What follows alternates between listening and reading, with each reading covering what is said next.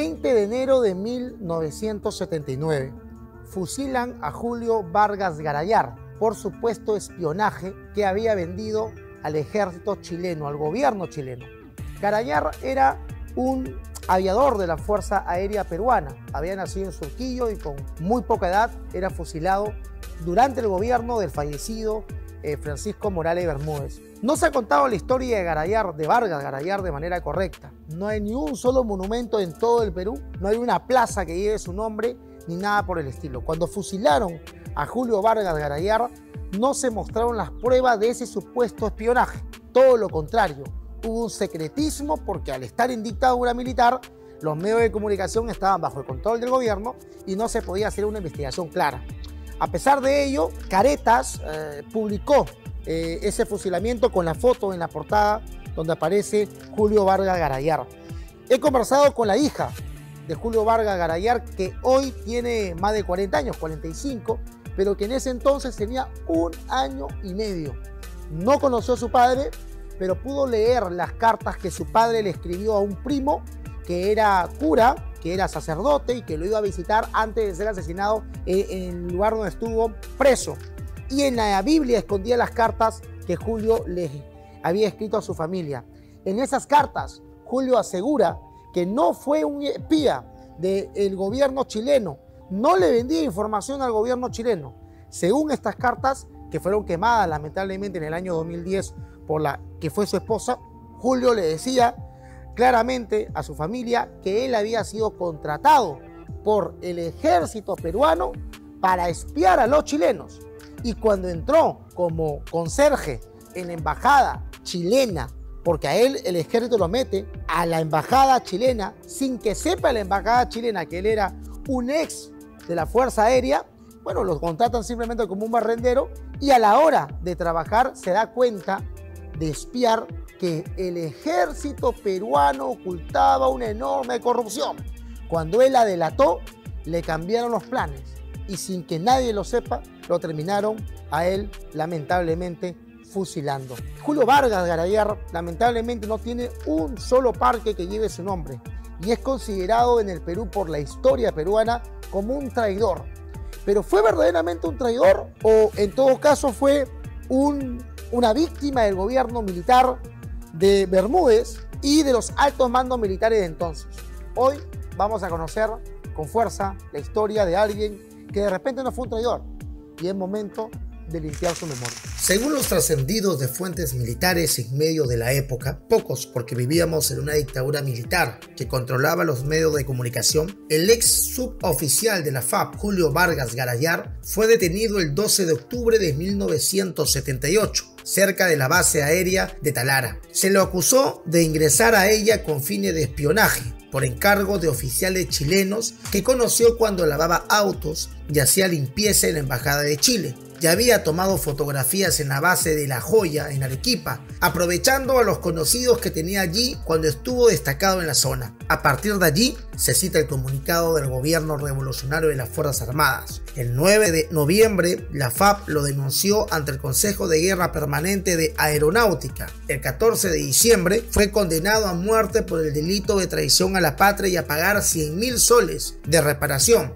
Su defensor de oficio apeló la sentencia, incluso solicitando la intervención del Papa y la Santa Sede, pero el 19 de enero de 1979 el Consejo Supremo de Justicia Militar confirmó la pena. Hora después, por resolución ministerial 0099-79 de Aeronáutica, se dispone suprimir su inscripción en el escalafón, privándolo de honores y derechos. En su párrafo último, el comunicado dice, con oficio 004 JPIL, el juez instructor permanente de aeronáutica hace de conocimiento que hoy a las 6 a.m. cumplió la sentencia. Era el 20 de enero de 1979. A sus hermanas y padres que aún vivían en aquellos años, no se les permitió abrir el ataúd. Nunca pudieron reconocer el cuerpo. Julio Vargas Garayar dejaría dos hijos, una de un año y nueve meses y el menor de apenas nueve meses. La única herencia que el gobierno militar le permitía entregarle a su prole sería la condena social de ser hijo de un supuesto traidor a la patria. Siempre he dudado y dudaré de las historias contadas por el aparato estatal, y más aún en una dictadura que, aunque haya tenido tintes democráticos, como el regresar al Perú a las elecciones libres y enviar a los militares a los cuarteles, luego de 11 años, para 1979, seguía siendo una dictadura, con todos los medios de comunicación teledirigidos por la Junta Militar. Logré comunicarme con María Consuelo Vargas Chávez, hija mayor de Julio Vargas Garayar, Hoy tiene 45 años y vive austeramente pero feliz, aunque trayendo siempre a la memoria a su padre y la injusticia, como asegura ella, por la que tuvo que pasar toda su familia, en especial su madre. Ella tenía su propia historia, que parte del testimonio de su mismo padre, cuando lo encarcelaron en el año 78, no permitieron que su madre pudiera verlo, pero sí alcanzó a realizar visitas a un primo suyo que era sacerdote. A este pudo alcanzarle unas cartas de puño y letra que el clérigo ocultaba astutamente en la Biblia. En esas epístolas el condenado a traición a la patria contaba su verdad, que nunca ha querido ser escuchada por nadie y que hoy la contamos aquí. No solo se declaraba inocente, sino que acusaba a sus verdugos de ser ellos los que vendían información a los chilenos y que al él descubrirlo lo incriminaron, lo encarcelaron, lo aislaron de los medios, de la opinión pública y le pusieron la etiqueta de traidor a la patria. Y por último, para desaparecer toda huella, lo condenaron a la pena de muerte. ¿Cómo se iba a poner en duda matar a un supuesto traidor que vendía información confidencial a nada más ni nada menos que al país que más odian los peruanos y patriotas? Chile. Más aún durante los años 70, habiendo tenido malas relaciones que incluso pudieron llevarnos a dos posibles guerras revanchistas. Todos los peruanos aplaudieron la ejecución porque se vendió muy bien la historia y más aún en 1978, a solamente un año de el centenario de la Guerra del Pacífico.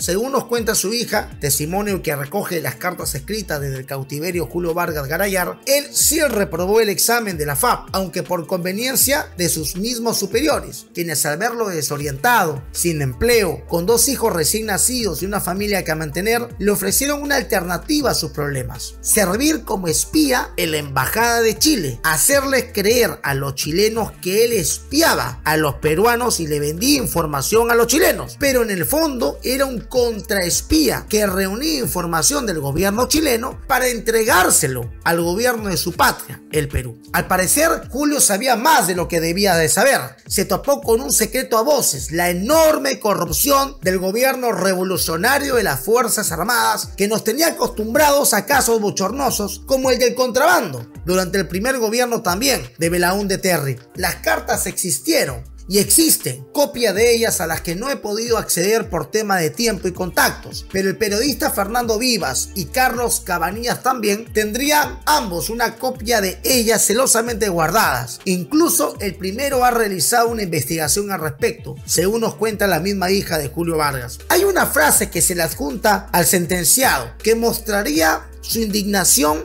que pasamos a citar inmediato. He arriesgado inútilmente mi vida a favor de mi padre y mi institución, a los cuales he dado valiosas informaciones. Y como premio me dan cinco plomazos y la deshonra de mi nombre a ser tachado de traidor. Efectivamente, me declaré culpable, pero no informan al pueblo peruano que lo hice por medio de la tortura y que mi juicio fue un fraude y una burla. Sus verdugos le propusieron declararse culpable para salvar a su familia. Luego ellos ayudarían a sacarlo del país y así olvidar esta etapa de su vida reiniciándola en el extranjero. Él les creyó y efectivamente recibió plomo a cambio de ello. En 1977, es decir, dos años antes que fusilaran a Julio Vargas Garayar, habían encontrado también a un espía en el gobierno peruano. Este era Vladimiro Montesinos, que le vendía información a la CIA. Vladimiro no fue ejecutado como sí hicieron en el caso con supuestamente el espía Julio Vargas Garayar. ¿Por qué hubo un tratamiento diferente, un trato distinto, diferenciado entre un espía con el que sí había pruebas como es el caso de Vladimiro Montesinos, y no con el señor Julio Garayar, con el que no había ningún tipo de prueba que demostrase que verdaderamente vendió información al gobierno chileno. ¿Qué hubiese pasado? Entremos al terreno de la especulación. Si hubiesen fusilado, por ejemplo, a Vladimiro Montesinos, el señor Fujimori no hubiese tenido el abogado que lo ayudó a salir de un problema durante la campaña del 90 y no hubiese tenido el asesor que hizo todo lo que hizo durante los 90 también. Caso interesante, nos dejamos en especulación. El gobierno militar nunca mostró la prueba del espionaje. ¿Por qué con Vladimiro Montesinos, con quien sí había pruebas de haber sido un espía norteamericano y de vender la información a la CIA del armamento que el Perú había comprado a la Unión Soviética, también durante el gobierno militar de Bermúdez, se tuvo mayor tolerancia y misericordia? Le dieron solo dos años de cárcel y punto, no más. ¿Por qué se salvó de morir fusilado? Julio Vargas Garayar, antes de ser fusilado a los 26 años y no 29, como ha dicho la historia hasta el día de hoy, según cuenta su hija, fue torturado de las maneras más escalofriantes y humanamente soportables. Gracias a estos maltratos, habría firmado un papel en blanco que luego fue completado por el gobierno militar con un testimonio falso que lo inculpaba. ¿Por qué el gobierno militar de Bermúdez no permitió que se pudiera abrir el ataúd del entonces supuesto traidor a la patria, Julio Vargas Garayar? ¿Por qué sus hermanas y sus padres que vivían entonces no pudieron ver, evidenciar verdaderamente que quien estaba en ese ataúd era su hijo?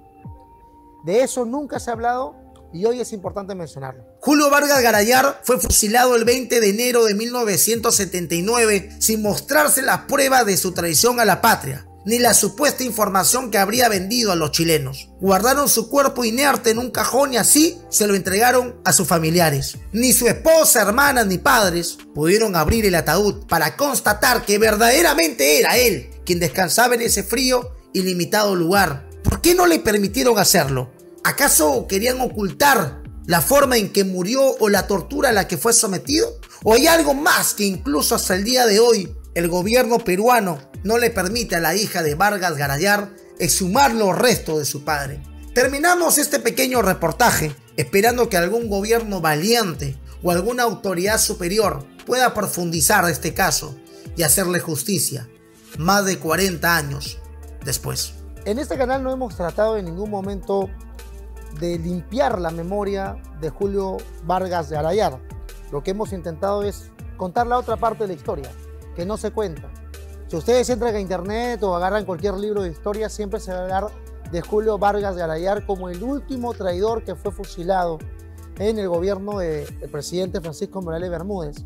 Pero nunca se habla del testimonio de su familia, de su hija que entonces tenía un año y medio, hoy tiene 45, del dolor que tuvo que pasar ella y su hermano, del, del rencor de mucha gente, de muchos peruanos, y militares que la acosaron, la, amenazaron, la denunciaron en todo momento. Esto tendría que contarse. Espero que este video pueda llegar no a limpiar la memoria de Julio Vargas Garayar porque la información completa no la tenemos. Hasta el día de hoy su hija no puede abrir la tumba de su padre para ver, exhumar el cuerpo y saber si verdaderamente quien está en ese ataúd es su padre. Si ya el tiempo ha pasado, ¿por qué no permitirle al menos ese consuelo a esta familia. Yo soy Jorge Ugarte y esta fue la historia de Julio Vargas Garayán.